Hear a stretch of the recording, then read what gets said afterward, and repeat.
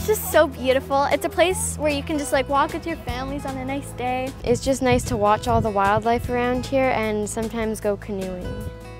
I think it's nice to go out on a nice bike ride and look at the river and just say, wow. The Sturgeon River watershed is one of 12 sub-watersheds within the North Saskatchewan watershed itself.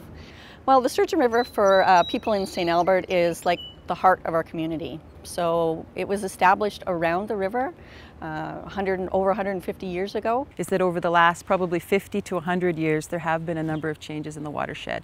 So when we look at water quality, when we look at flow rates, um, and then when we look at even fish species communities, we know that there have been changes over the last 50 to 100 years. And those are some of the things that concern us. Fish are an indication of the health of the watershed, the proverbial canary in the coal mine. And if you have trouble with your fish, it's an indication that you have troubles in the watershed. In Owl Lake used to support fish and it seems like for the last six years now we can't support fish any longer in that lake, which is really unfortunate. Agriculture to development of land causes runoff of nutrients into the water. Uh, cottage development, all these things can increase the nutrients. So we've been working on a number of things over the last four to five years. Uh, we started out actually assessing stream crossings in the watershed. Uh, we were interested in where their fragmentation of the river was an issue, and that means basically areas where you have culverts or bridges that impede the movement of fish.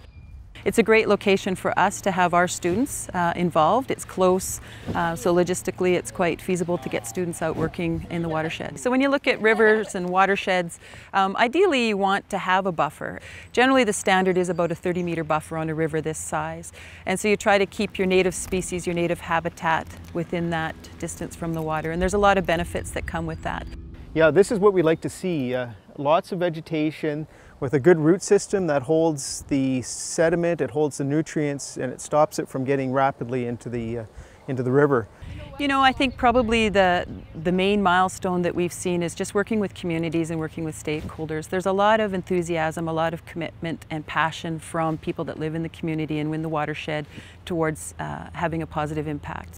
Well, Biological Sciences is a very hands-on program. Students can actually come out and uh, apply some of the classroom materials, the lecture materials that they've been learning and uh, practice it in our watershed, in their backyard, and that's pretty exciting for them. Well, our primary goal is to take some of the restoration strategies that are being proposed uh, and to test those. So to come up with some best management practices around restoration, riparian restoration. NAIT has definitely fulfilled a, a, a big need in terms of collecting data on a watershed-wide basis and providing that strong foundation for moving forward there's many benefits to the work they've done. Uh, they've created very good relationships with the various stakeholders in the watershed because this is a cumulative effects problem. There's multiple sources.